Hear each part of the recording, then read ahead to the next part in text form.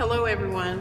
I'm artist Ronna Pernell with art exhibition Unspoken Woman. I would like to say a special thanks to the Oklahoma Arts Council, curator Allison Atchison, OVAC, which is the Oklahoma Visual Arts Coalition, the Golden Group, which is Kyle Golden, my PR man, Tabar and Associates with Barbara Eichner that wrote the narratives, voiceovers, narratives by Professor Melanie Brasher.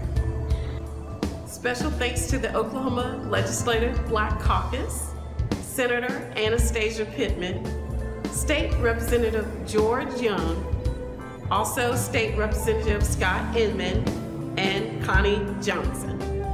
Thank you to my team, Michael Johnson, Donna Kentley, and Michelle Johnson for making this all possible and having my back.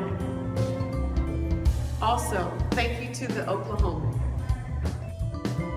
www.unspokenwoman.com. Visit today. Today.